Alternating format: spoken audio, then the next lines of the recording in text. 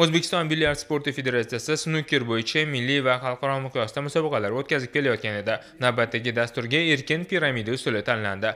Ushbu o'yin usuli havaskorlar orasida amerikacha nomi bilan tanilgan bo'lib hujumkorligi bilan ajralib turadi. O'z navbatida aksariyat havaskorlar ana shu usulda o'yin orqali tajriba to'playdi. Musobaqani o'tkazishdan maqsad esa bilyard sportini e, o'zbekistonda e, rivojlanishi yoshlarimizni shunga jalb etib mana o'zinglar ham bilasizlar snukeri bor pul bor televideniyada mana yevro sportda ham ko'rsatadi. Shunga yoshlarimizda juda qiziqishlar bor.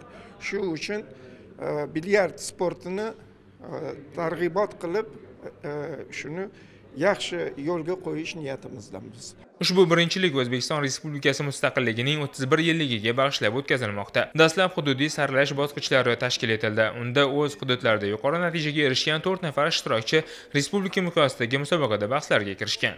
Amerikanka deyiladi eski nima qilganda bir xil o'yinlarda faqat bitta qizil shar bilan o'ynalsa bu yerda hamma shar o'ynaladi. Bizani ko'p o'yinchilarimizni rossiyaga borib ham chempion bo'lib kelishdi mana siydirov deganimiz bor bir ikki bir ikki marta mirzayev nodir deganimiz bor mana e, zuhriddin ukamiz bor judayam ular naqadar o'zbekistonda faqat e, rossiyada ham juda katta hurmatga ega ular har doim qatnashib turishadi.